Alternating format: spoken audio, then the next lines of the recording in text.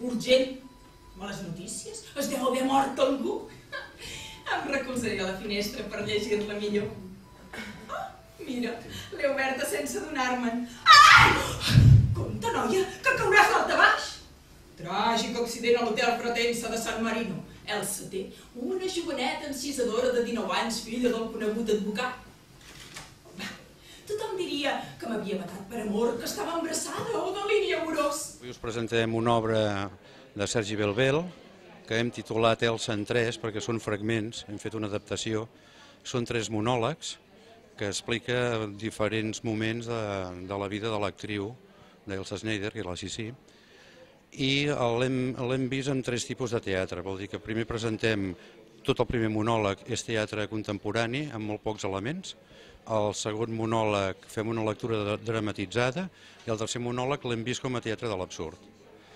Aleshores, bueno, l'important és veure socialment què és el que passa quan tens un món de glamour, de fotògrafs a sobre, de televisions a sobre, que no et deixen viure, com ho vius això i com ho portes eh, tenint en compte que era una dona i el glamour de la dona, com arriba un moment que, que per fer altres coses pots arribar-te a prostituir per diners o per ajudar el teu pare o per no sé què, i tot el que comporta aquest món del glamour.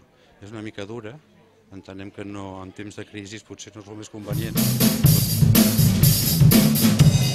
Sí, hem posat un, un baix i una bateria en directe perquè amb els monòlegs la penya no està acostumada a monòlegs, no? aleshores es fa, pot ser que es faci una mica feixuc i això ajuda, entre escena a escena hi ha música en directe i a més a més hi ha tocs, hi ha tocs entre van interpretant per donar força doncs, a paraules. No?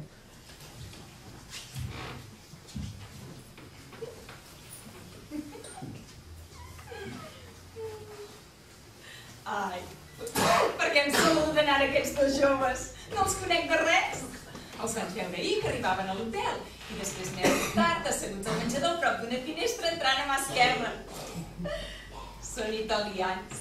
El més alt és molt interessant i se m'ha quedat mirant fixament.